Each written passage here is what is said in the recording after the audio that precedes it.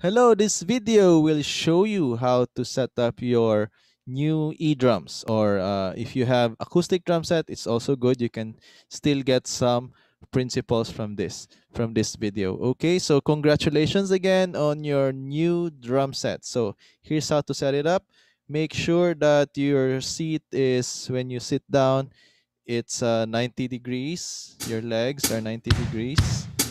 Okay, this one 90 degrees. So it's not uh it's not extending like this like you're driving or it's not um too too tight too uh, acute angle. So it should be 90 degrees. Okay and then your drums. Cymbals make sure they're uh good height. So your kick and uh, make sure that toms are a good height for you. So some some would like them flat but uh, for me i this is my ideal okay. Differs a bit when it's a acoustic drum set. Floor tom you want it to be um, just a little above the waist. Okay it could be facing a bit down so it's easier to hit. It could be slightly angled like this. So crash and rides are the same. And the snare here's a quick top view. So the snare should be between your legs. So these these are your legs. So this is the snare. So it should be between your legs. Okay? Should sit between your legs between the kick pedal and the hi-hat pedal. So as you can see there are both pedals here. The snare should be in between. So feel free to adjust the distance of the pedals but a snare should sit in between. Okay? So this is a very rough uh, top view there that should uh, that should be your okay.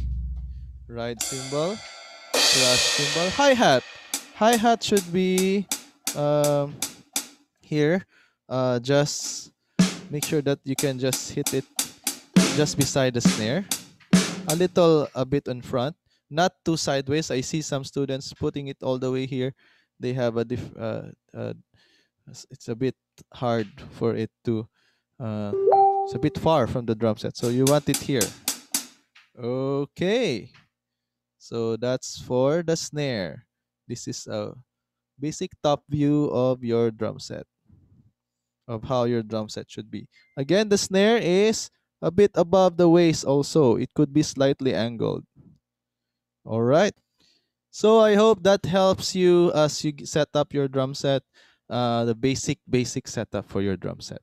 Okay and then connect it to a speaker. So and then turn on your original sound in zoom so i can hear you when you play. And if you have if you don't have a speaker then maybe uh, maybe if you have some sort of a, a mixer an audio mixer an interface you could uh, plug in all those. Contact me if you need help in setting up those. But for now basic speakers will do. Connect your laptop cell phone to the speaker so you could uh, play your music or your assignments and make sure that your phone or laptop is also the camera is also facing this angle would be good.